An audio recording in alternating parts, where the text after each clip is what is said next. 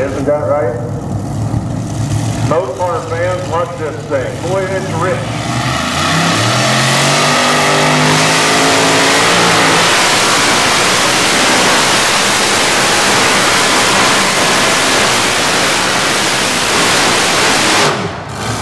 There you go. How about a nice hand for Jason McKenzie? And boy, could it tell some stories. Len Brookhart with the radial reactor from Bel Air, Maryland. Last year's points champion.